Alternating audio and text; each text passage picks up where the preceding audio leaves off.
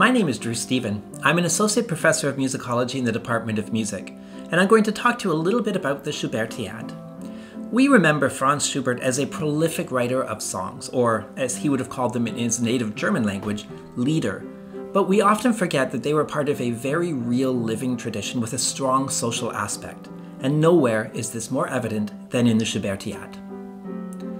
The Schubertiade is generally understood today as an event held to celebrate the music of Franz Schubert, which is true, but it is really much more than that. The term was invented by Franz Schubert and his friend, the poet and actor Franz von Schober, to describe the regular gatherings they organized with other young artists in their early 20s, including the painters Leopold Kupelwieser and Moritz von Schwind. Although music was a central focus, it was not the only activity. The group read and discussed drama and literature, supported each other's artistic endeavors, and generally socialized. I was excellently entertained, wrote one participant after a Schubertiade in 1821. Schober invited Schubert and 14 of his close acquaintances for the evening. Schubert sang and played a lot of his songs by himself, lasting until about 10 o'clock in the evening. After that, we drank punch offered by one of the group and since it was very good and plentiful, the gathering, already in a happy mood, became even merrier. It was three o'clock in the morning before we parted. We get a sense of the group's activities from a painting by Kupelwieser. In what appears to be a game of charades, several members recreate the expulsion from the Garden of Eden, with the tree of life, the serpent, Adam and Eve with an apple, God, and a cherub. Notice that Schubert observes from the piano with his left hand on the keyboard, either providing musical clues or some form of melodramatic accompaniment. The group clearly benefited from the opportunities to share ideas and find mutual inspiration. Schwind observes that the way Schubert composes is the way I should like to paint, and Schober, in a letter to Schubert, wrote, are we not precisely those who found our life in art, while others merely entertained themselves with it? As often happens with groups like this, the meetings eventually dropped off as individuals left Vienna to focus on their careers and pursue other interests.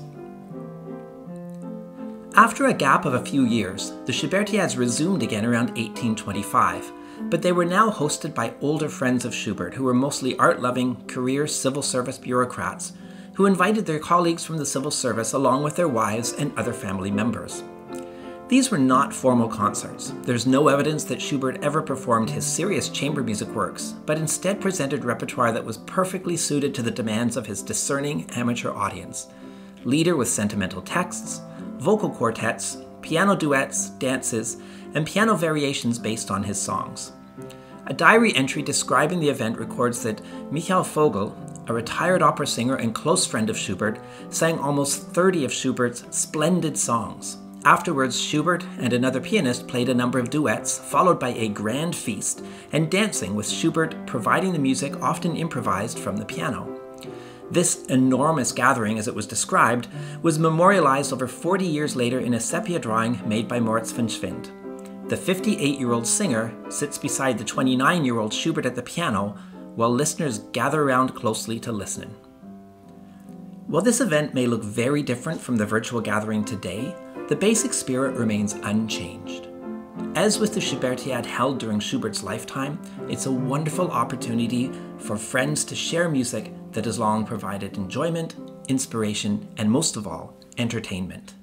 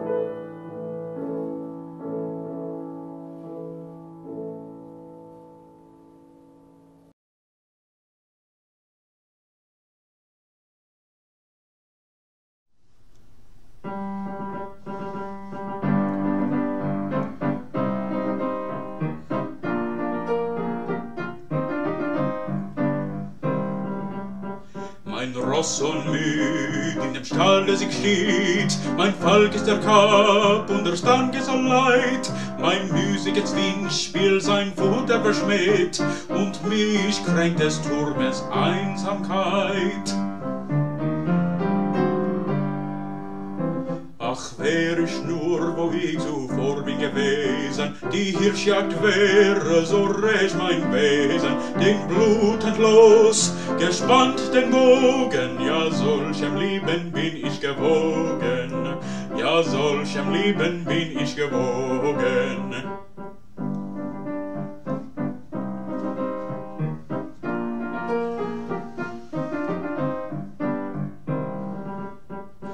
Ich hasse den Turm, o schläfrigen Klang, ich mag nicht sehen, wie die Zeit verstreicht, wenn Sol um Sol die Mauer entlang der Sonnenstrahl so langsam schleicht.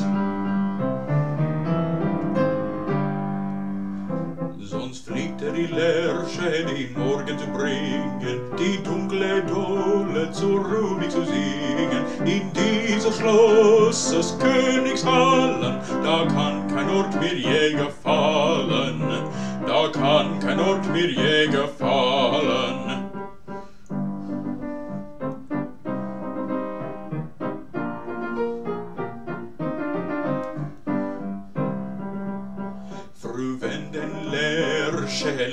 Lieder schallt, so ich mich nicht in Ellens blickt, nicht folg ich dem flüchtigen Hirsch durch den Wald und kehre mein Abendhaut zurück.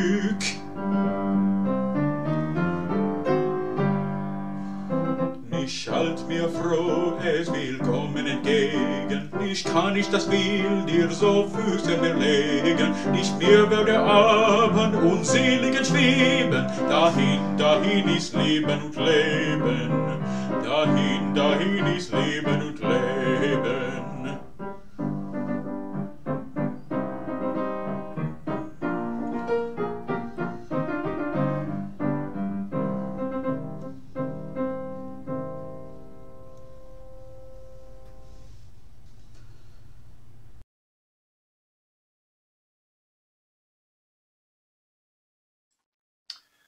Hi, I'm John Nix. I'm the coordinator for the voice area at UTSA.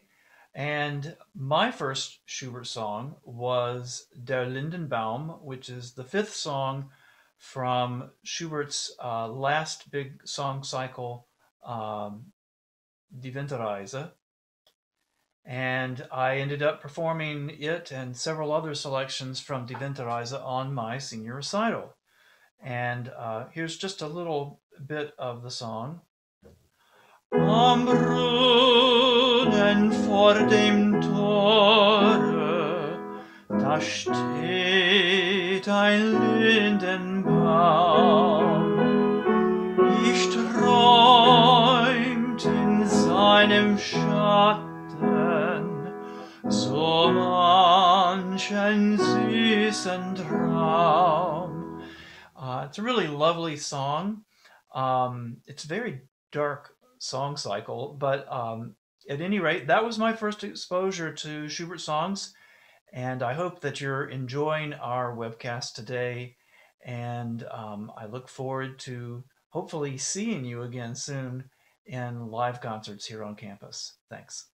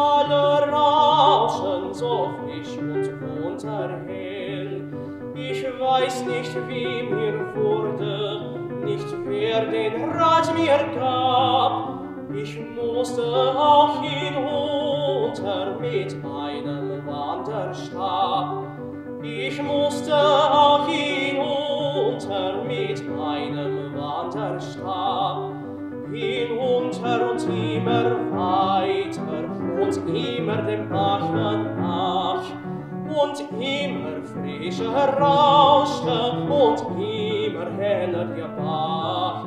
Und immer frischer rauschte und immer heller der Bach. Ist das denn meine Straße, o Bächlein, sprich wohin, wohin, sprich wohin, du hast mit deinem Rauschen mir ganz berauscht den Sinn. Du hast mit deinem Rauschen mir ganz berauscht den Sinn. Was sag ich denn vom Rauschen? Das kann kein Rauschen sein. Es singen wohl die Nixen tief unter ihren Reihen. Es singen wohl die Nixen tief unter ihren Reihen. Lass singen, Gesell, lass rauschen und wandre fröhlich nach.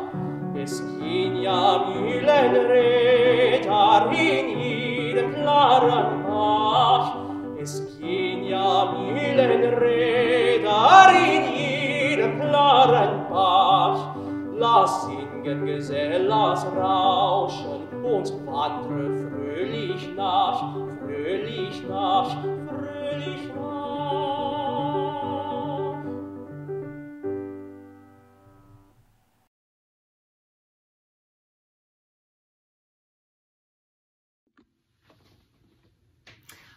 Crystal Gerald Johnson, and I'm on the voice faculty here at UTSA. I'm thinking back about my first Schubert Lied. Um, I must have been a junior or senior in undergrad, and my voice teacher had um, assigned me Gretchen am Spinnrad, which is actually quite a, a big piece. Um, I had already done some music of other German composers. I'd done some uh, Brahms, a good bit of Brahms. I'd done some Schumann and some Wolf. So um, coming to Schubert, I had already, um, you know, some experience. I was I was preparing it for a master class, and I remember pulling it out in my first lesson on that particular piece. And even though I was just in a lesson and I was comfortable with my teacher, comfortable with the music, I remember my heart started to pound. I had a little bit of an adrenaline rush. And my teacher said to me, well, you know, actually it's in the music, you know, the heartbeat, bum, dum, dum, dum, yada, da, da, da, da, da, da, da, that excitement, that heart, that heartbeat, that little bit of adrenaline, it's in the music. Um, Gretchen is, is such a rich and um, emotional character to portray. The music is intense and fantastic. I mean, any singer that has ever done it that I know of just falls in love with that piece. Um, I don't believe I ever actually performed it in recital or in concert. I did I did do it in the master class, so maybe at some point I'll have to circle back to it and revive that piece, but that was my first Schubert Lied.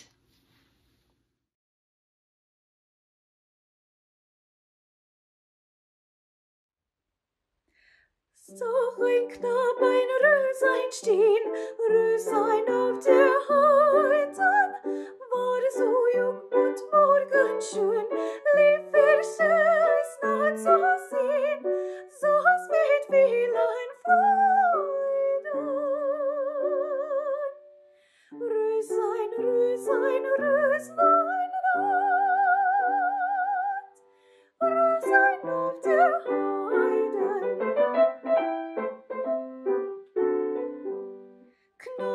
sprachig, prächtig, Rüslein auf der Häuten, Rüslein sprachig, dich, dat du ewig ik an mich, und ich will es.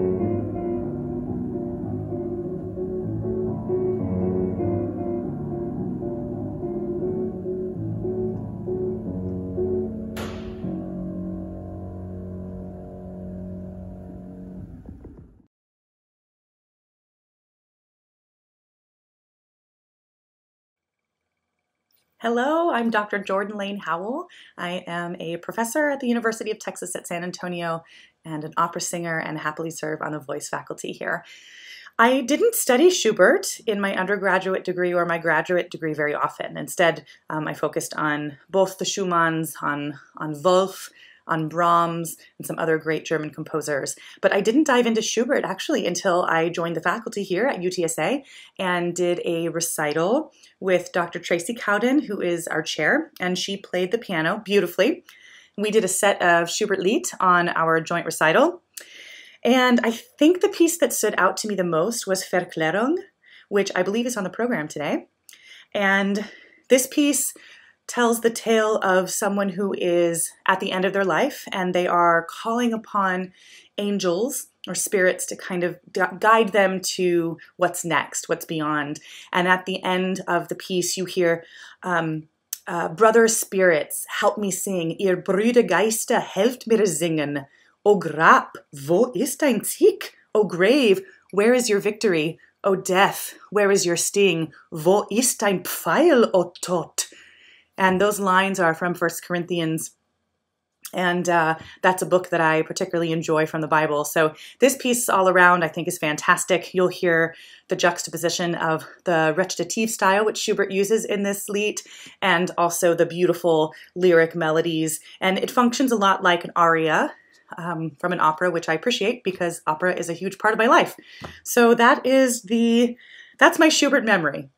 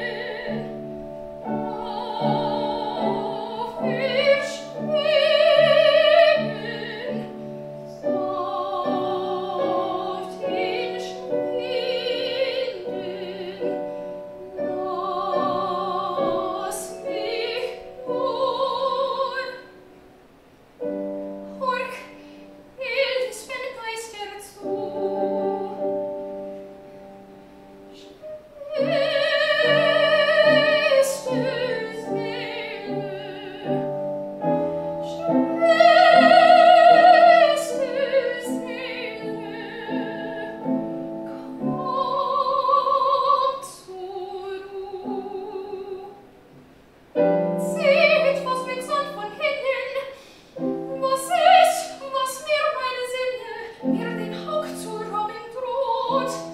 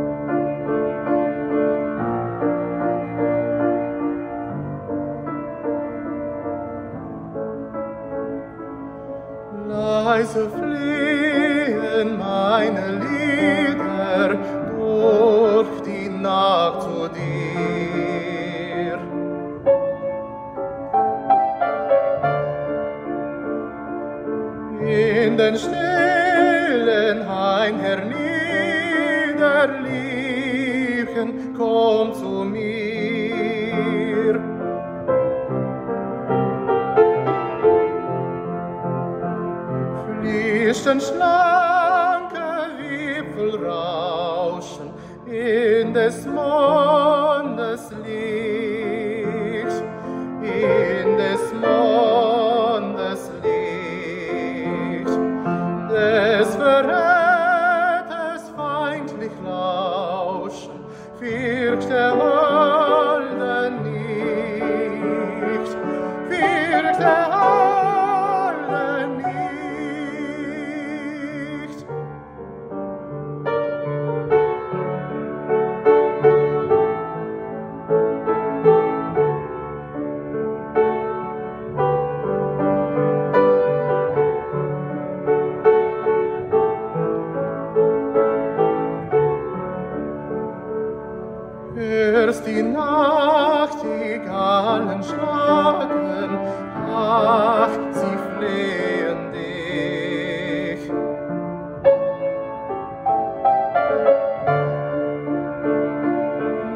mit der Tennensießen klar.